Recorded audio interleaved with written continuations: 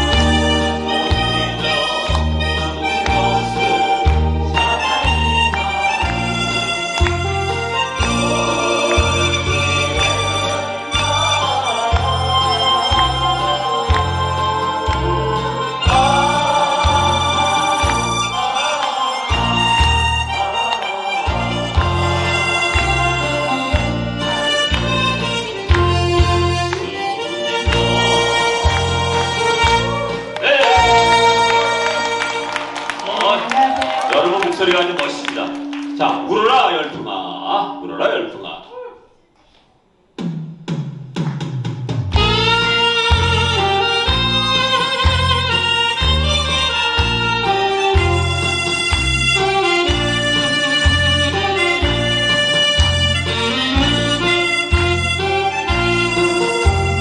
자, 이제 누님들이 크게 불러야 돼요.